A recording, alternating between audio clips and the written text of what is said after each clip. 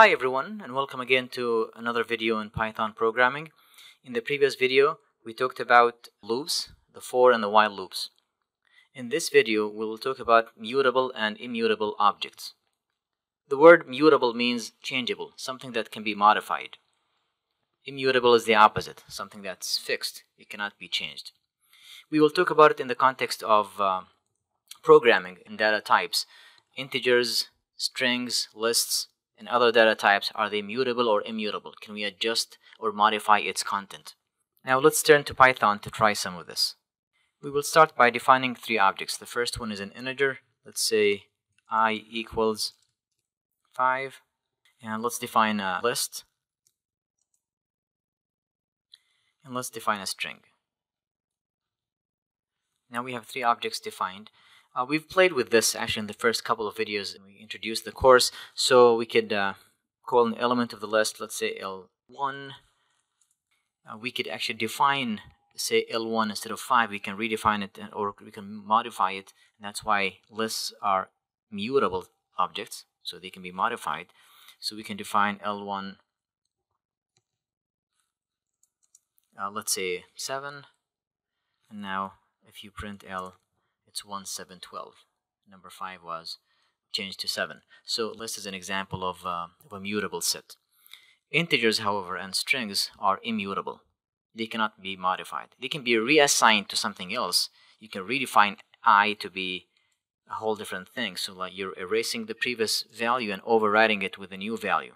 But the content of the original, while keeping the same uh, definition, cannot be adjusted. This might be more clear with strings. So here's the value of s. We could do the same thing with lists. We can say s of, uh, say, 1. and that would be the letter E right here. So, but we cannot assign this. Let's say if you want to do s of 1 equals some other letter, let's say G, it will not accept that.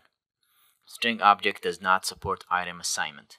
So strings are example of immutable objects they cannot be modified. Again, you can reassign it to something else. You can define s to be something else. That's the new object now, the totally brand new object. That's not, we're not really modifying s, we're just redefining it, erasing the previous value, defining it to something new. So here's what we got. We've got three objects, integers, strings, and lists. Out of the three objects here, we can see that integers and strings are immutable, while lists are mutable. They can be modified. Here's a table that I found on the web that shows uh, data type and whether it's immutable.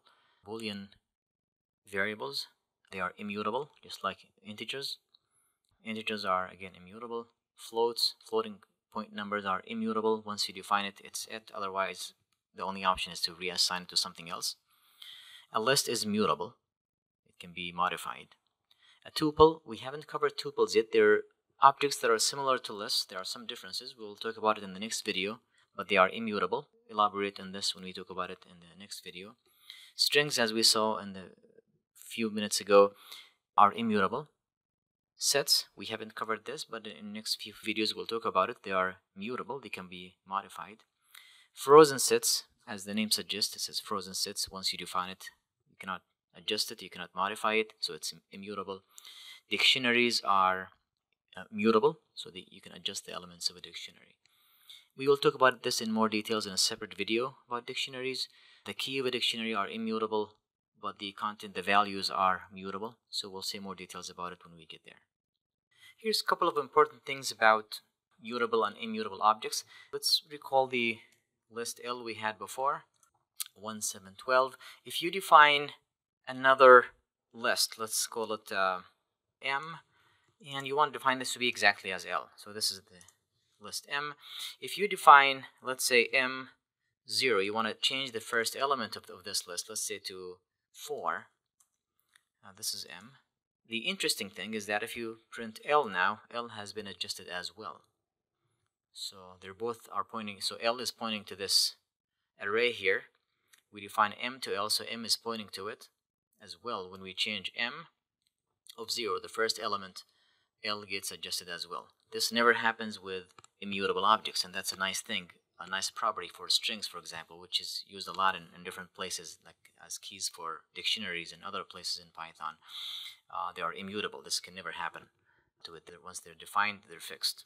This will not happen happen to integers either. So if you define a to be 5 and then you say let's say b equals a so b is 5 now let's define b change b the value of b.